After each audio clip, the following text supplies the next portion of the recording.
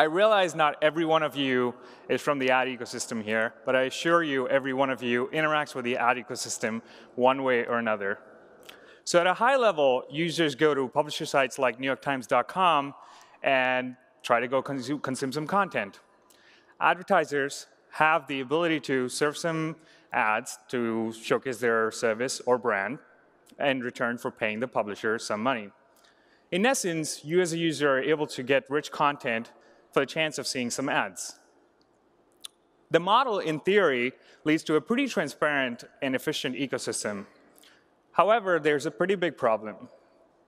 Ad blocker growth has been exponential, and the problem is worse on mobile. And the ad industry is one of the very few industries where innovation is leading to worse user experiences. So does this mean that all ads are bad? A surprising survey by PageFair showed that AdBlock users, uh, of 77% of AdBlock users actually don't mind some kind of ad formats. So the issue is not the ads themselves, it's what the ads actually do. And it's an important distinction. Here are some examples for, for why one would install an ad blocker. First is malvertising. Publishers face direct consequences when a random third-party ad server or, or ad network downloads a drive-by malware software or ends up redirecting, auto-redirecting users to um, illegitimate websites. There's no accountability about which particular ad tech company or ad network actually served the malware, because these companies have gotten pretty good at cloaking and therefore serving ads to, uh, proper ads to ad servers when they're trying to scan for malware, or, or, or serve like really good uh, malware when the users end up, end up trying to uh, receive like actual ads. Next is Spectre. Most of you probably heard of Spectre, a vulnerability at the chipset level that opens up any ad in the world to become a privacy nightmare for you just by you consuming some content on your mobile device. Last but not least, cryptojacking. I don't know how many of you heard of this, but there's ad implementations in the wild right now that can actually just uh, take, take, consume a ton of battery and CPU from your mobile devices to harness uh, crypto mining. And these are all pretty bad experiences. And there's one thing that's common across all of them. And just like the Joker from the Batman movie, it's pretty unpredictable, volatile, and completely unsafe, and that's arbitrary JavaScript. The fundamental architectural problem of the ads ecosystem is that it allows uh, actors and, and advertisers with potential malicious intent to serve uh, arbitrary JavaScript to innocent publisher pages. And we want to fix this architectural issue. However, not all JavaScript is bad, right? You want the ability to, for example, uh, for, for advertisers at least, express your ads in a creative format um, in, a, in a pretty good visual way. Or you want to be able to tell the difference when an ad is being shown to a bot versus a real human being, and you need JavaScript for that. So we saw the bat signal, and the AMP project is here to help with AMP HTML ads. Ads that can't have arbitrary JavaScript.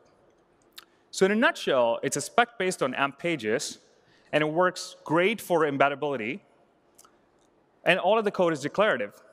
Therefore, somebody trying to you know, add some arbitrary JavaScript with some malware can still do so, but it just won't be valid AMP HTML ad anymore. And therefore, the publisher or the ad library or the browser can decide to just not render it, depending on some sort of settings. All right, so let's take a quick look at what an AMP HTML ad looks like. It's pretty straightforward. It mostly looks like a regular AMP document, except that it's a different spec, and therefore uh, you need to comply with the uh, advertising or, or, or the ad spec.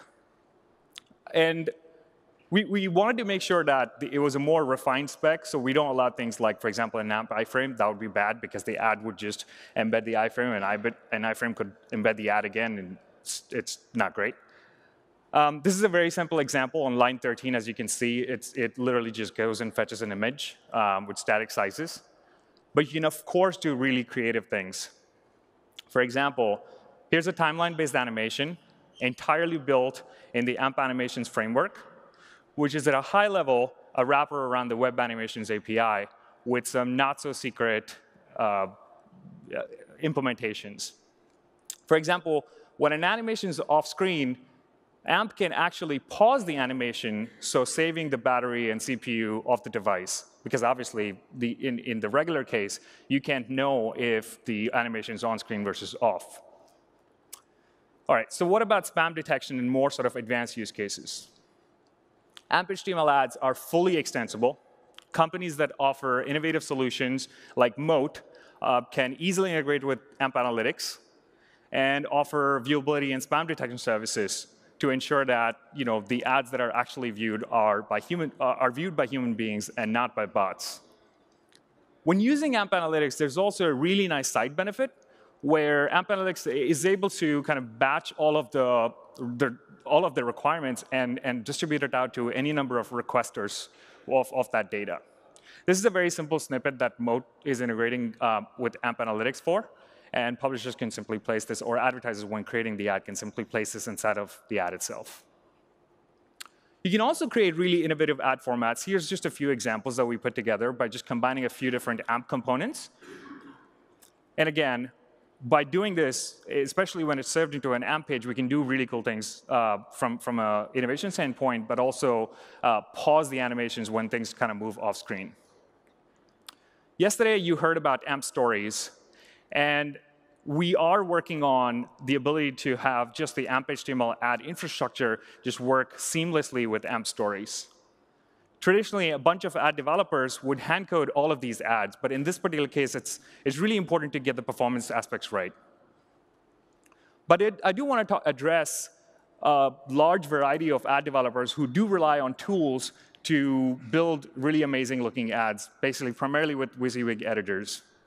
And to tell you more about Google Web Designer and its upcoming support for AMP HTML ads, I'd like to invite Heather Douglass, who's a senior software engineer at Google working on Google Web Designer.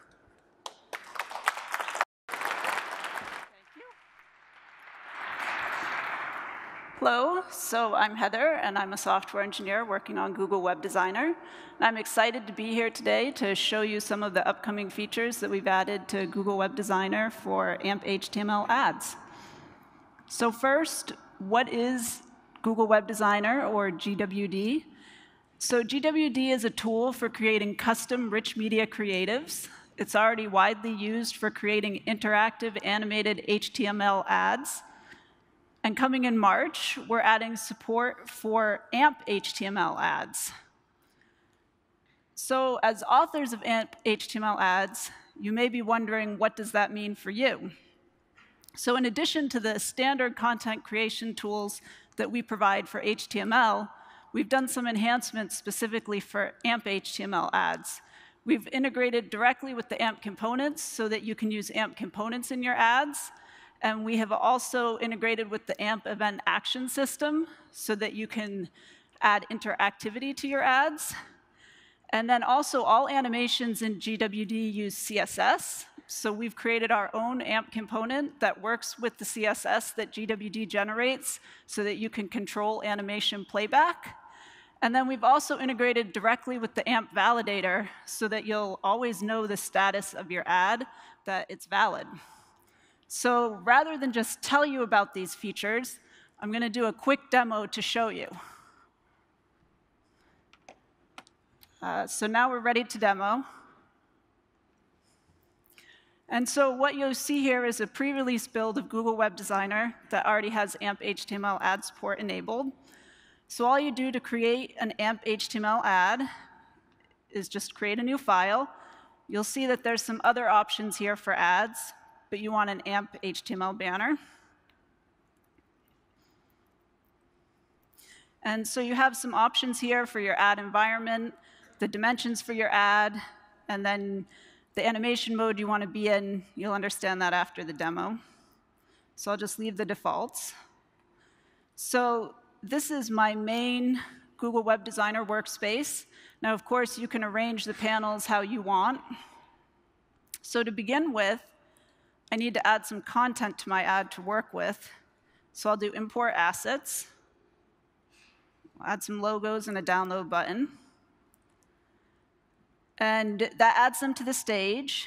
It also adds them to your library panel for future reference. Now, I'll just put these into a rough position of where I want them to be so I can animate them. So now I want to add some text to my ad, and to do that, I can use the text tool. And we'll say Google Web Designer. Now supporting AMP HTML ads. And of course, I can format this text.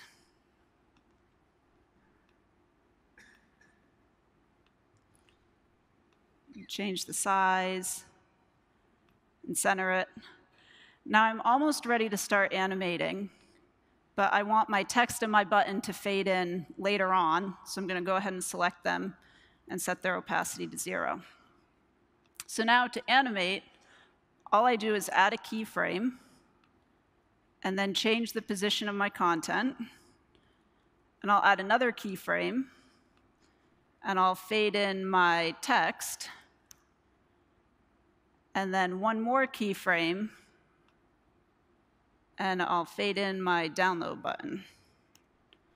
So now you can preview this animation directly in the tool. You can also go ahead and change the duration of keyframes.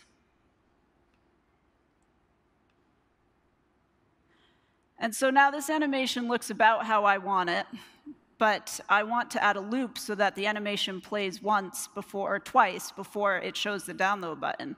So to do that, I have to use the advanced mode of the timeline. And this is actually where you can get more precise editing functionality for your animations. You can edit individual keyframes for individual elements.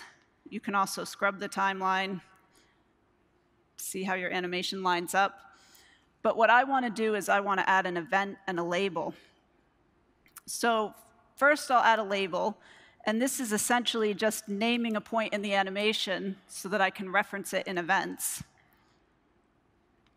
And then I'll go ahead and I'll add an event, and this is also just saying at this point in the animation, I want to trigger something else to happen.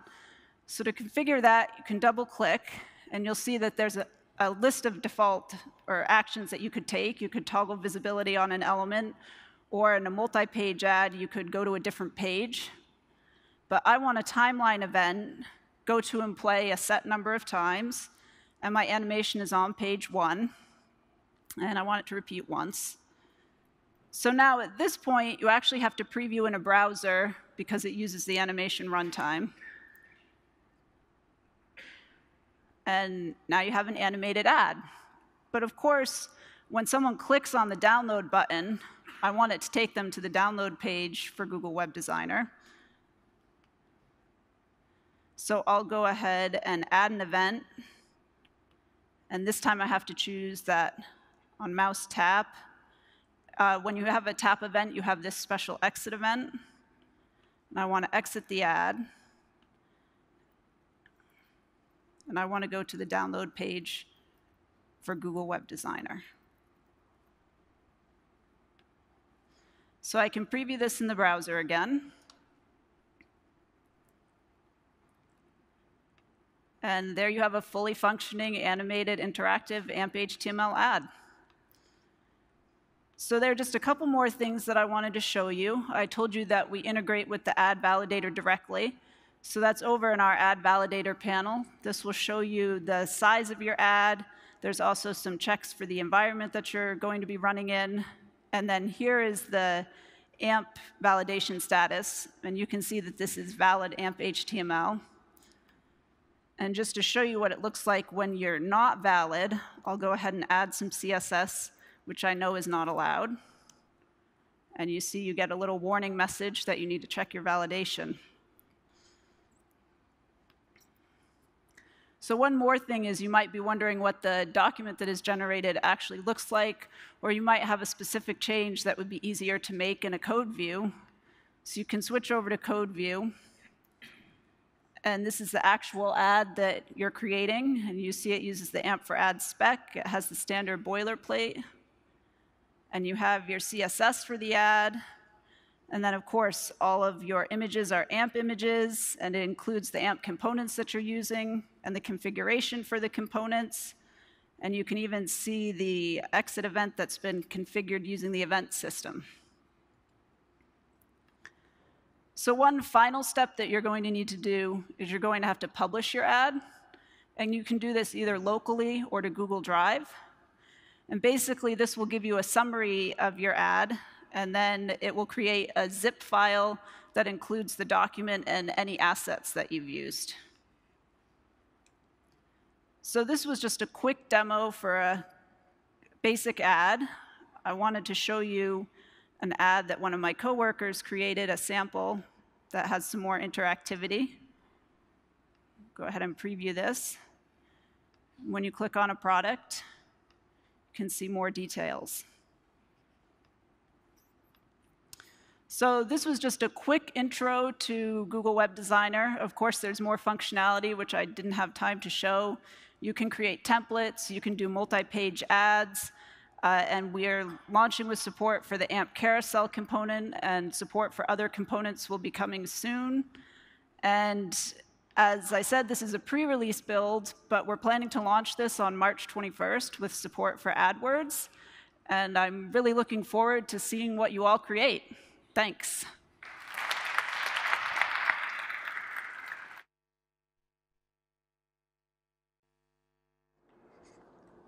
Okay, wasn't that great?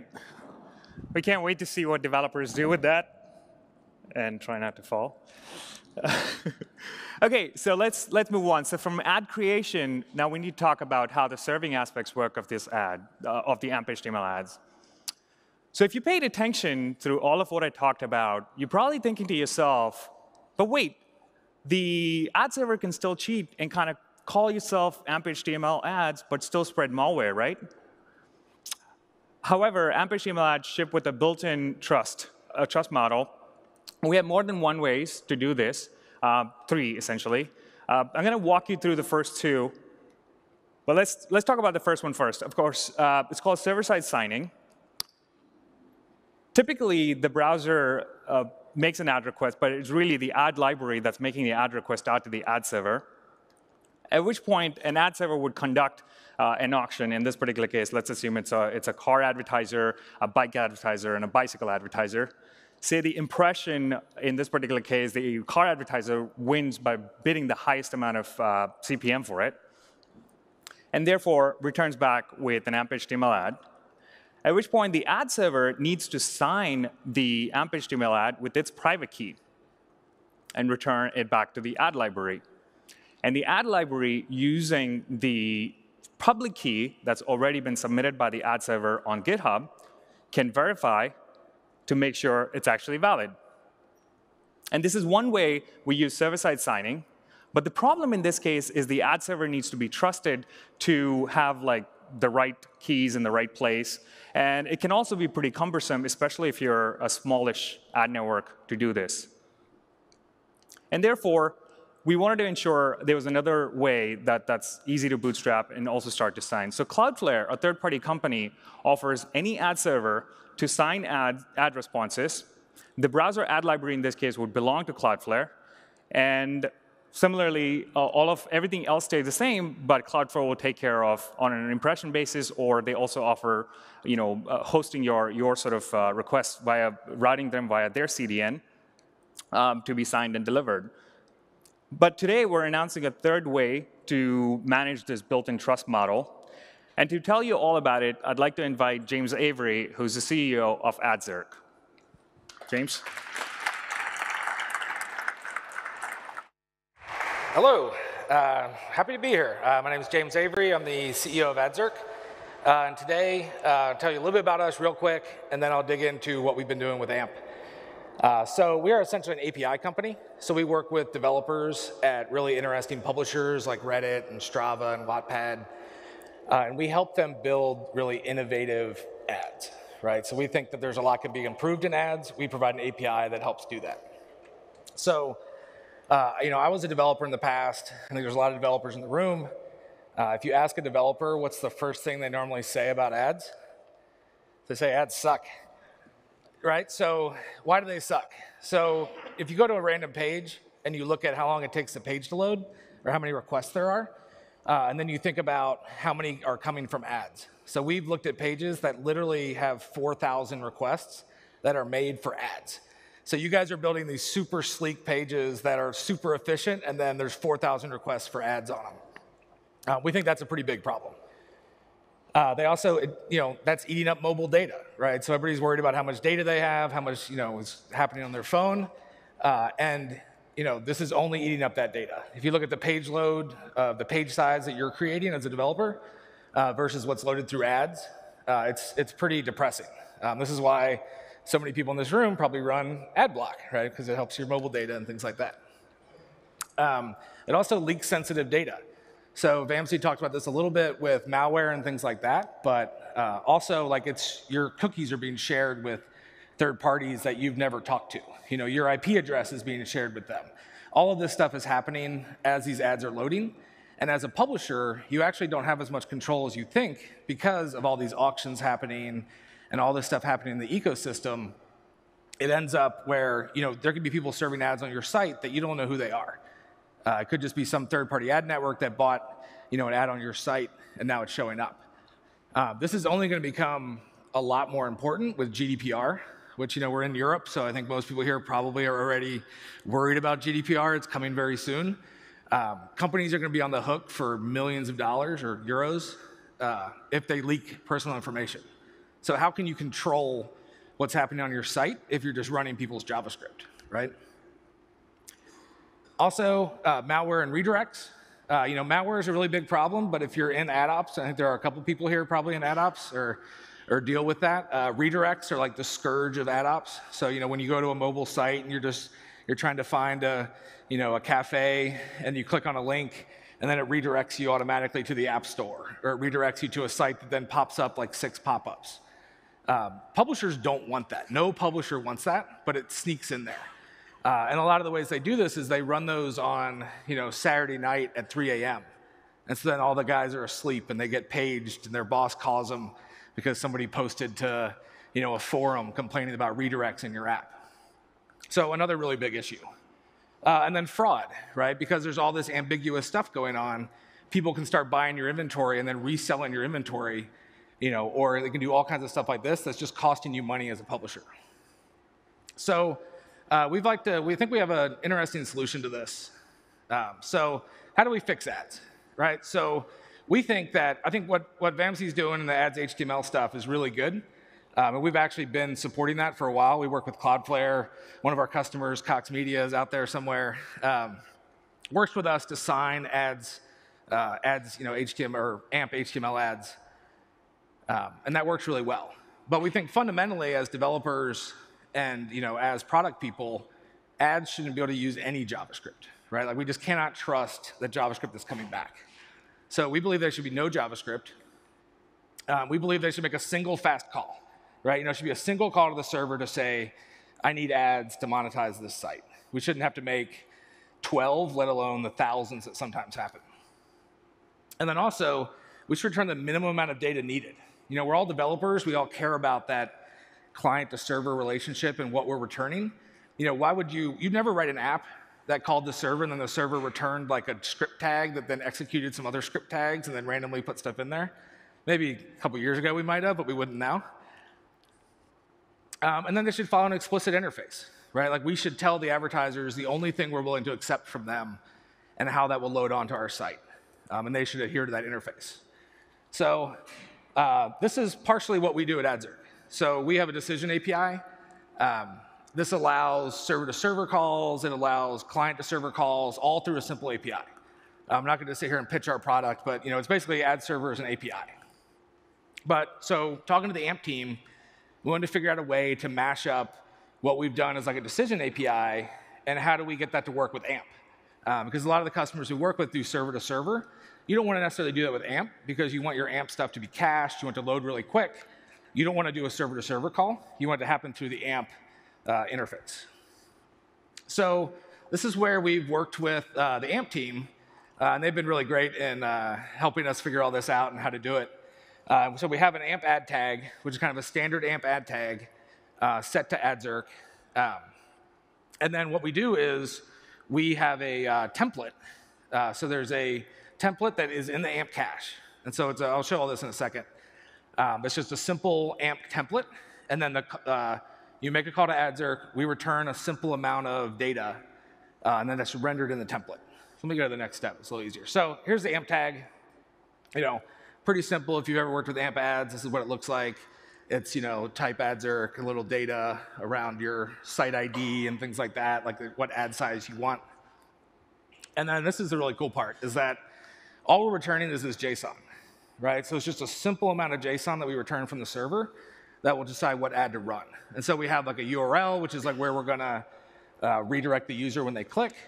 Um, we have an external URL, which is just the link to our CDN image. We have like a title, width, height, and then the impression URL is what we use to track that somebody's seen this ad.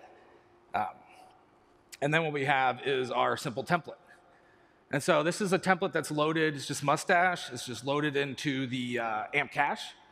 Um, and we load this once. So a user like loads this template, in their cache, and then every time they see an ad, it can render on this template. So, I mean, this is, you know, that'd be kind of anticlimactic to just show an ad, but there's an ad, and it's from, uh, you know, loading through this template, and it's kind of all this stuff that's going on to do that. Uh, so the benefits of this, you know, we have no third-party JavaScript at all. We're just passing back JSON. You know, advertisers can only pass you back that simple interface that you've accepted. Uh, all the rendering is done client-side. You know, if you guys are building new apps today, you're using React and Angular and stuff like that, right? That's so you can do all the rendering on the client side. So you can get simple API responses back and do your rendering on the client side. We think the same, the same thing should apply to ads.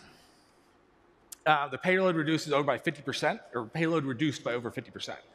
So because we're not sending back all that HTML every time, or even the AMP ad HTML, we're just sending back the JSON, we reduced the payload by over 50%, and that's on that simple ad. And so if you get into kind of the complex, animated, stuff like that, the payload reduction is going to be even more dramatic. And then also templates are cached, right? And so I've talked about this like three times, but I think it's the coolest part is that these templates are cached in the client, and so the stuff is loading really, really quick. Um, so that's, that's pretty much all I want to talk about. I think it's a pretty interesting uh, uh, thing. Um, but I do, and I will say too, like this is just an example of a simple template. Um, we could, you could run, you know, you could create any template you want for any type of AMP HTML ad.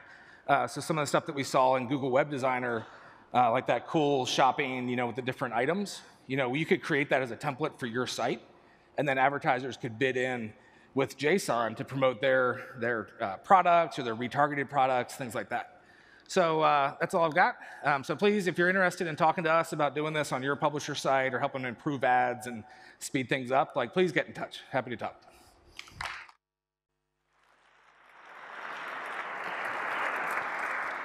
Thank you, James. We also really enjoyed working with you. Cool. A number of partners all over the entire ecosystem have already started to experiment and start to deliver AMP HTML ads, um, you know, promoting a safer and a faster ad standard. For those of you who haven't seen it before, it's interesting to note the comparison between an AMP HTML ad and a regular ad in, in real life. So on my right side is an AMP HTML ad, and on my left side is a regular ad. They essentially look the same, but you can see how much faster the ad actually renders. So how are these AMP HTML ads performing from a revenue standpoint? Because of course they need to be able to make money, right?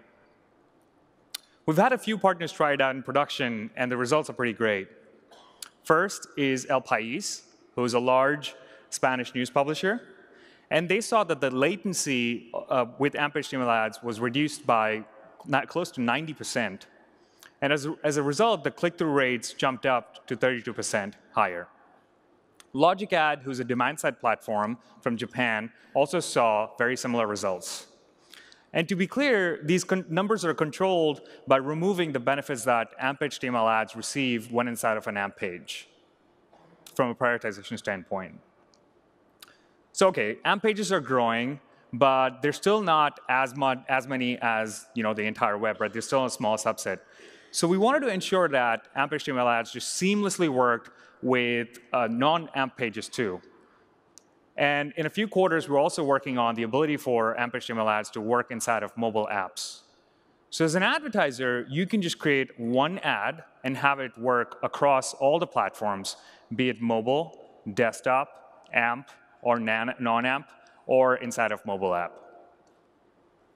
OK, so switching gears, let's talk about AMP pages and the monetization of regular ads on AMP pages.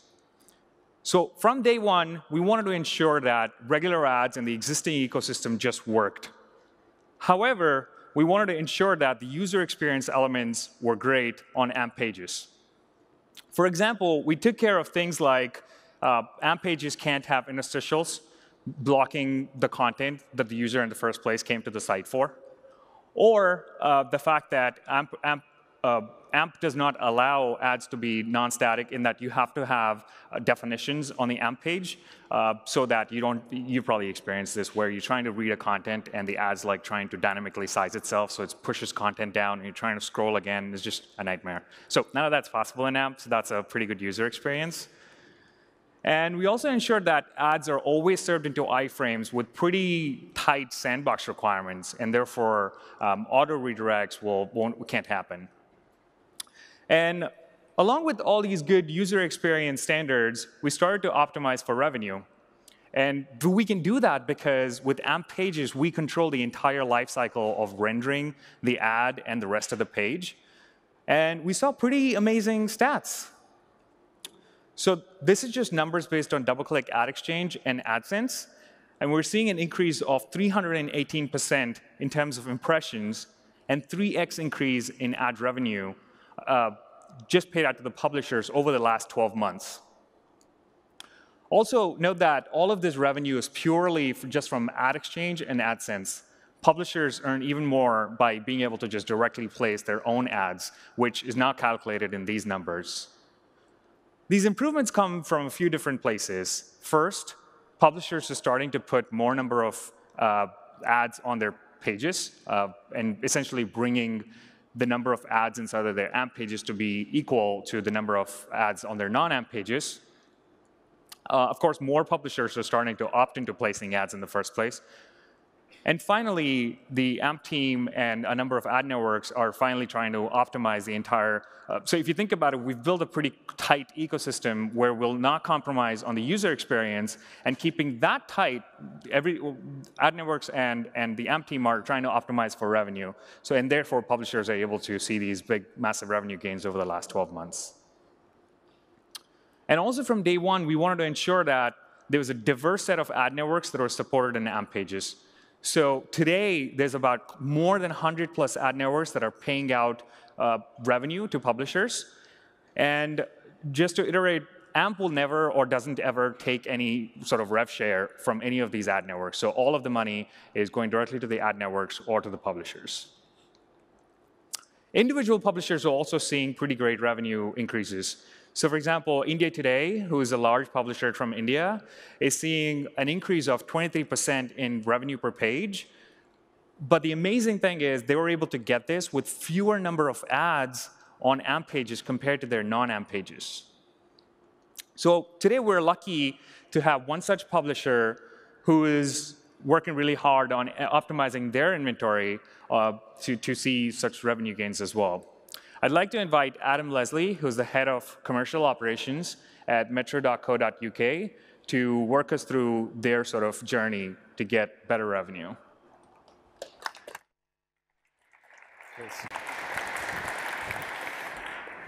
Hi, everyone. Happy Valentine's Day. Uh, so for anyone who has never heard of metro.co.uk before, we are one of the fastest growing newspaper websites according to the Press Gazette's ABCs. We have, we're based in London, but we also have offices in New York. And we are written by millennials, for millennials, covering a number of different topics, everything from news to sport to showbiz. It's also worth noting that we're part of the same group as the Mail Online, and commercially, there's some collaboration there, which is something that I talk about later on in my presentation. So header bidding is a concept that publishers have been using uh, in their standard web pages for several years to greatly increase the amount of uh, people who are bidding for each individual ad placement. And the way that this works is that you have some wrapper tag in the head of your page, which essentially initializes calls to all of the different bidders that you have uh, that you want to work with. The wrapper will then get all of the responses, uh, mediate the best price, and the output will be the best price across all of your bidders as a key value and a cached asset on the client. The price is a key value then gets passed to the ad call, which is in a friendly iframe. Uh, and if the wrapper has the best price, then a command is served is a command is served from the ad server to render the asset from cache. So for AMP, uh, we start running into issues because the wrapper itself and the calls to all of the bidders are essentially JavaScript that sits directly on the client, which is not allowed within AMP for speed benefits. Equally, as Vamsee mentioned, the iframes that we use in AMP, the AMP ad iframes, uh, are not friendly. They are safe frames, which make passing key values into them uh, not possible or very difficult. So for these reasons, whenever we initially launched uh, AMP about two years ago on the Mail Online, we were unable to replicate this method within AMP. However, over the past 12 months, there's been a lot of developments within server-side bidding that has helped us create some solution within AMP pages.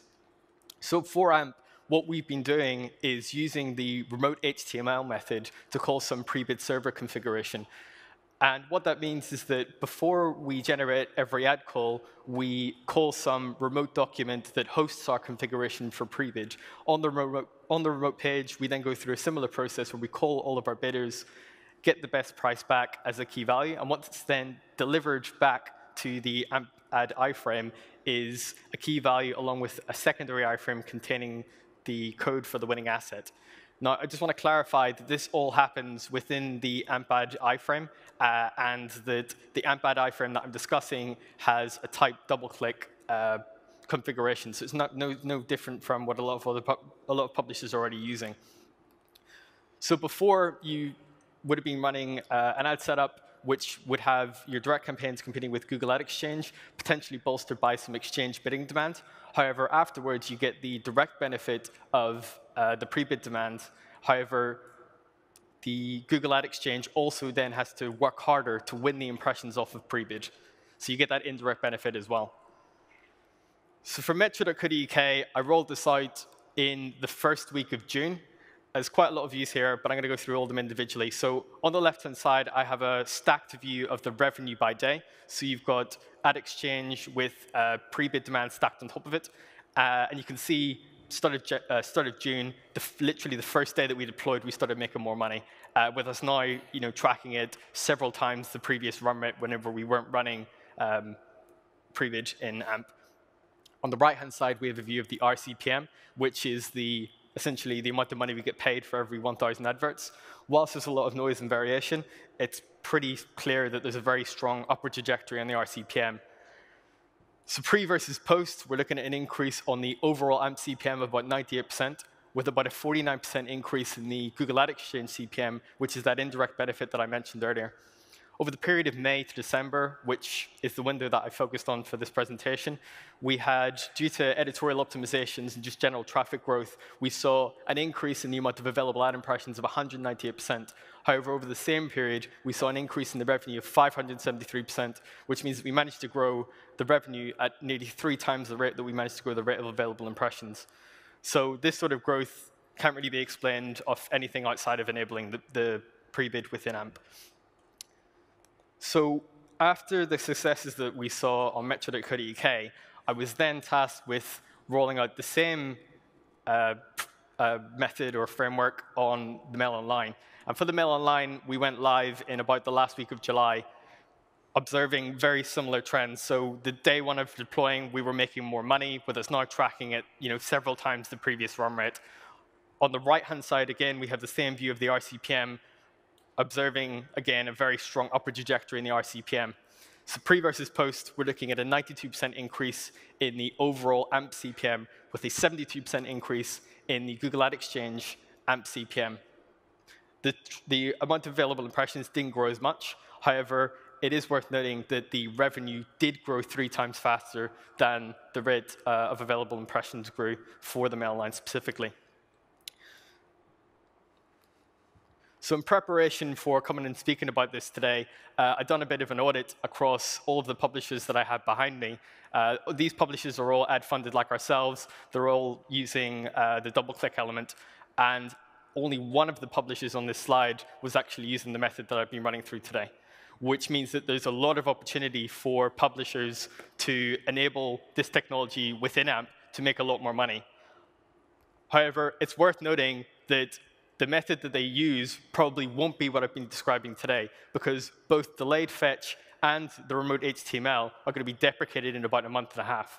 However, due to the, due to the successes that we've seen uh, after enabling pre-bid within AMP, as soon as we found out about the deprecation, we've been working very closely with both Prebid and AMP to ensure that some alternative solution uh, was available before the deprecation.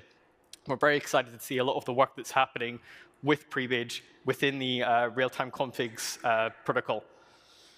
So looking through the real-time configurations documentation uh, and understanding, you know, Prebid and working with it quite closely, this is a very rough representation of how Prebid could work within remote uh, real-time configs. However, I'm actually not going to explain uh, this that much because it's something that we're going to go into in a lot more detail later on in the session. So closing thoughts for myself. More publishers should definitely be looking to do this. However, they should probably wait until re the real-time config method is uh, available. The, whilst the method or the technology is changing, the outcome isn't. In fact, it may even be better there's certain benefits by us not being on, uh, by us not, uh, by us still using remote HTML uh, that we're not currently seeing, mainly the fast fetch. So we're still using delayed fetch, not using fast fetch. So by us moving the same method across to a fast fetch infrastructure, it may actually mean that the revenue upticks are even better because the efforts load faster. The next point is that this method is not unique to Prebid. So whilst, from my understanding or from what I've seen in the market, Prebid is the only wrapper that offers a documented solution for AMP, technically speaking, any, any uh, wrapper that has server-side bidding capabilities should and probably could, uh, could and probably should uh, build out some sort of solution for AMP. So if your wrapper of choice is not Prebid and it's not an option for you to utilize that, then you should definitely be speaking to the wrapper that you do use to ensure that this is on their product roadmap. The next point is uh, a bit of an issue that we've spotted with uh, pre-bid server, specifically within Europe.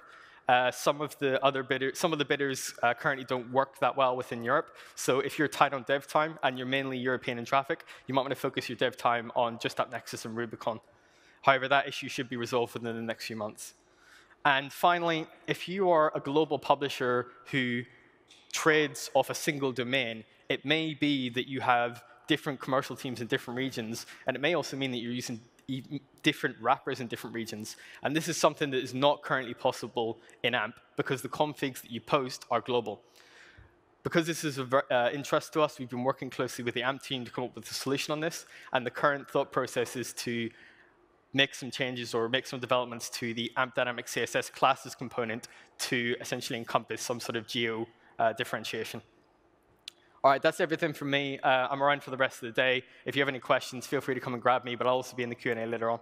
Thanks very much. Back to Vamsee.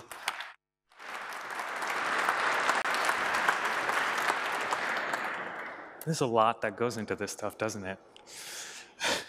All right, thank you, Adam. So just switching gears, we wanted to make sure that we give you just a brief overview of all the features sort of we launched from a monetization perspective to help publishers make more revenue within AMP over the last few months. The first is single request architecture, or SRA. It's basically the ability to sort of combine all the ad requests into one single um, ad request, all the ad slots in one single ad request, and make them to the ad server. What this allows, especially for larger publishers and advertisers, is to be able to tell a story across the entire page um, based on sort of the sequencing of the different creatives. Or, for example, competitive exclusions where, let's say, Coke is trying to buy out the entire page, um, they don't want a Pepsi ad, and therefore the ad server needs to know that all of the uh, know all of the ad slots within the page and the sequencing for them. Next is auto ad refresh, where, say, a publisher creates an interactive, uh, which only lasts one single viewport, and therefore the user is spending most of their time within this one single viewport, and they want to be able to, and therefore the publisher should be able to sort of monetize them uh, by defining sort of a set interval for the ad to refresh at that point. However, we've added sensible restrictions where we're saying, oh, the ad can't actually refresh in under 30 seconds. Native ads are all the rage, and for good reason. Um, they are not as jarring, and they're also pretty seamlessly integrate with the rest of the content. And therefore, um, we've launched Fluid Ads, and which gives the ability to kind of take over the entire space available dynamically by a certain ad. For example, in most cases, this is up to the device width of the viewport. AMP IMA Video provides the ability to start to monetize your video content. Um, it's a free AMP component that ships with a video player and easily monetizes based on from, di from different ad network, video ad networks, including DoubleClicks. It works seamlessly with, uh, with um, all of the other ad networks as well, and uh, so publishers should take advantage of this. Last but not least is real-time config that Adam sort of briefly talked about. Uh, but basically, it is not just for header bidding, but it, it, opens up a number of different possibilities for publishers, like being able to enhance the audience data um, on, on incoming requests or do sort of geo-based targeting. So for example, similar to how a barista might pull a, pull a shot just before making your cappuccino, real-time config allows you to enhance the ad request just in time before making the call out to the ad server to get the highest sort of ECPMs. And to tell you more about just one application of RTC, I'd like to invite Matt Jacobson, who's a product manager at AppNexus, uh, to give you a brief overview of their integration.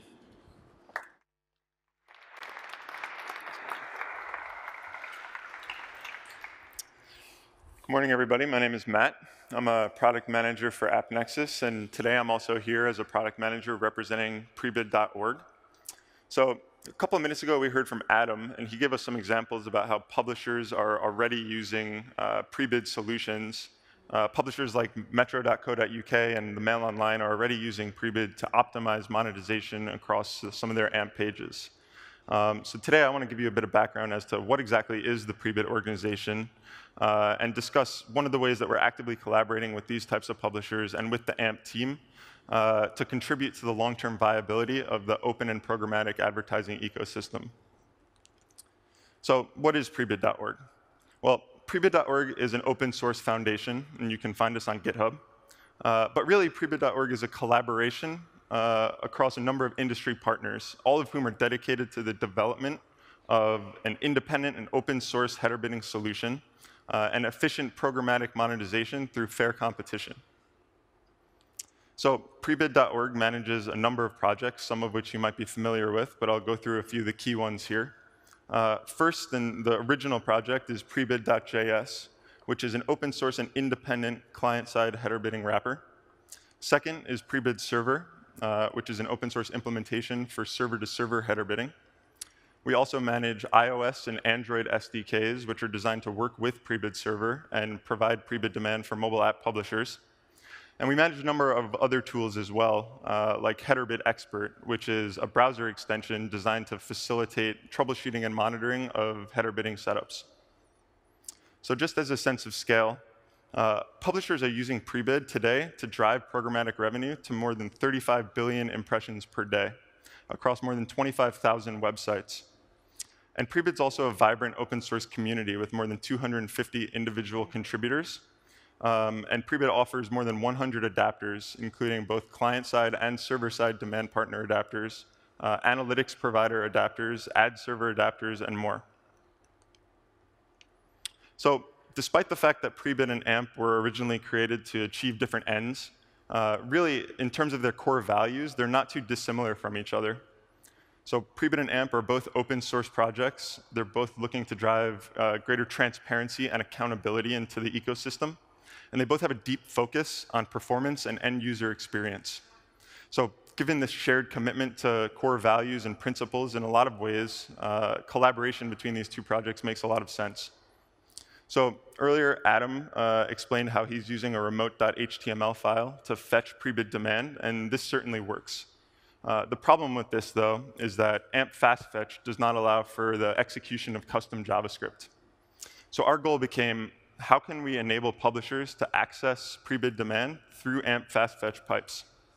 So I'm happy to say that in collaboration with publishers and in, with the AMP ads team, uh, we're solving for this issue by enabling Prebid Server to be called as an AMP RTC vendor, which can return slot level targeting through JSON RTC responses.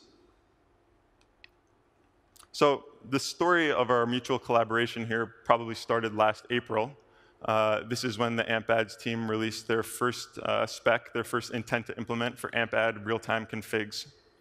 Uh, and as pre-bid, we recognized the potential value here, but there were a number of issues for us. So first of all, the original proposal only allowed for a single RTC callout, which means that a publisher wouldn't be able to say both access header bidding demand and also uh, other information, other targeting information or other data pre-auction. Uh, and also there was no ability to set uh, slot level targeting, which Prebid relies heavily upon to ensure that we're able to associate bids from demand partners with individual ad units. So after some back and forth, and a few months later, uh, a new proposal was released, this time called AMP RTC2. Uh, so with this new proposal, uh, up to five RTC callouts were supported. And critically, RTC callouts would be supported per slot, which means that Prebid had the ability to associate uh, targeting on a slot level and associate bids from demand partners with individual ad units. So as you might expect, along the way, we encountered a few other minor issues, uh, and we're still working with uh, publishers and with the AMP ads team to solve for some of them, and we'll continue working to optimize this type of integration for publishers. Uh, but the key result here, the key takeaway, uh, is that we have been able to add RTC support to pre-bid. And so we will be enabled we will be able to enable publishers to access header bidding demand through AMP fast fetch networks. So I'll briefly touch on some of the requirements here and for running pre-bid with AMP RTC, and hopefully we'll all agree that uh, there's nothing too particularly arduous here. So First, you'll need to be running some AMP ad elements for a network that supports fast fetch and AMP RTC, a network like DoubleClick, for example. Uh, second, you'll need to create some server-side pre-bid configurations. And a configuration here is essentially just a list of the demand partners that you're working with and their respective parameters. Uh, and third, on your AMP ad units, uh, you'll need to define an RTC config attributes. Uh, which will make a call to Prebid server as a vendor and which will define any parameters necessary for Prebid server to be able to retrieve the configuration information server side. So here's what this looks like. Uh, and I won't go through every single step here because that's what the documentation is for. And uh, I can tell that everybody's sort of getting ready for lunch. Um, but essentially how it works is You've already got your AMP ad element for a network like DoubleClick that supports fast fetch and AMP RTC, and you've defined Prebid server as your RTC vendor.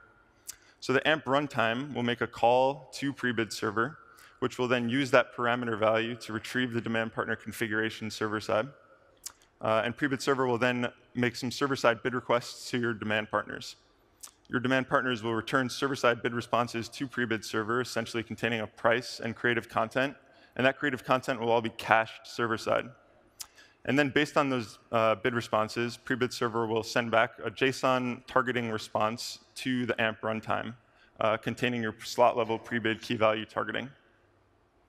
Uh, and the, the, AMP network will then use this JSON targeting to construct an ad request URL.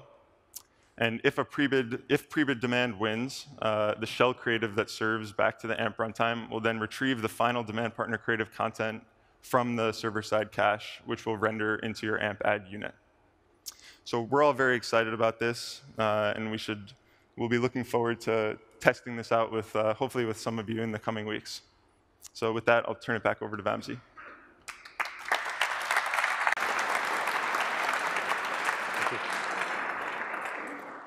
Home stretch, folks. All right. Um, just to summarize, there's four key takeaways today.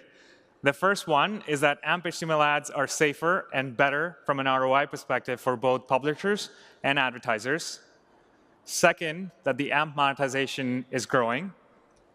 Third, we've launched a number of different features to allow publishers to monetize AMP pages better. And fourth, header bidding is supported within AMP now uh, using real-time config, but it's just one use case. And overall, it's a platform, and we look forward to what developers are going to do with the entire platform. So just briefly looking ahead, we wanted to ensure that there's a continued uh, interoperability of AMP pages supporting regular ads, which is the vast majority of, of uh, ads within AMP pages. But also, we want to ensure that the AMP HTML ads work seamlessly across other platforms, including non-AMP pages. It's a large ecosystem, but our vision really is to get ultimately get the best of both worlds. By combining the two experiences, we believe that we'll end up in an advertising ecosystem that is a step function better, and an advertising ecosystem that negates the need for ad blockers and promotes an open and sustainable web. And I'd like to thank you for your time today.